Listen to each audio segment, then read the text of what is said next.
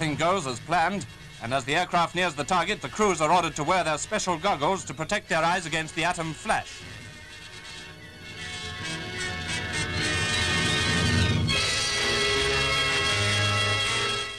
With goggles, they saw a flash as brilliant as lightning. Those without goggles shielded their eyes with their arms as the world's fourth atom bomb fell.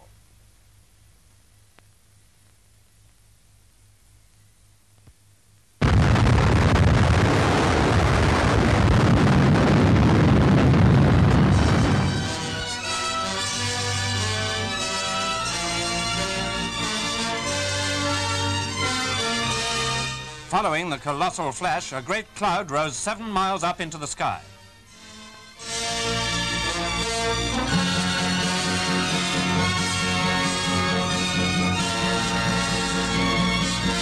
No earthquake, no tidal wave, nothing unforeseen.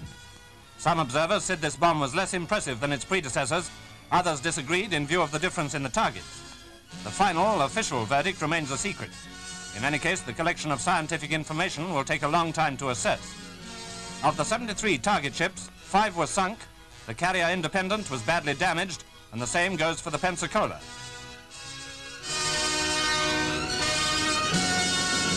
Finally, another view of the explosion from a different camera position.